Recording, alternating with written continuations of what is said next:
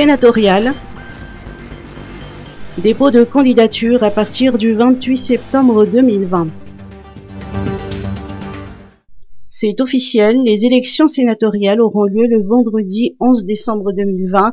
Le Conseil du gouvernement d'hier a adopté le décret portant convocation des électeurs la Commission électorale nationale indépendante, ou CENI, se prépare pour ses prochaines échéances électorales.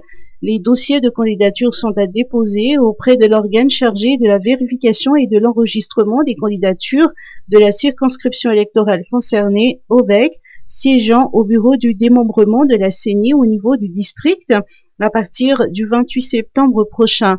La CENI, pour sa part, s'attelle actuellement à mettre en place l'OVEC et à former ses membres le mandat des sénateurs expira le 9 février 2021.